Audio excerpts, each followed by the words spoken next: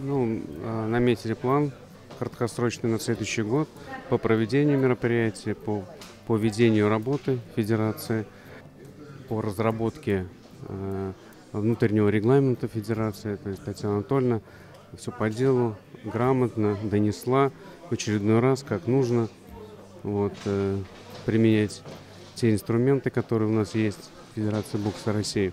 Вопросы, конечно, очень актуальные для всех региональных федераций и для работы в округе, и для работы коллектива всех федераций России, которые объединяет Татьяна Анатольевна Кириенко. Вопросы очень важные и подсказаны пути решения этих проблем насущных для региональных федераций. Только сейчас обсуждали вопрос с Айрат Касымовичем Хаматовым э, по поводу проведения таких мероприятий и участия в них.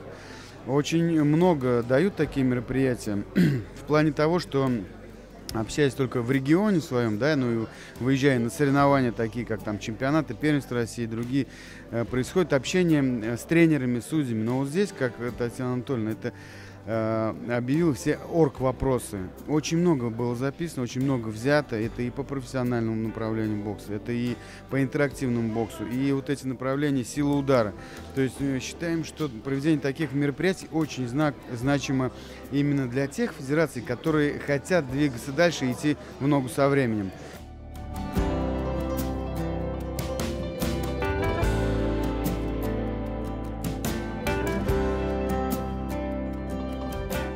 А в целом а, по работе в округе я могу сказать, что мы, ну, наверное, неоднократно доказали а, свое желание развивать бокс, что мы постоянно проводятся на территории округа общероссийские соревнования, командные соревнования.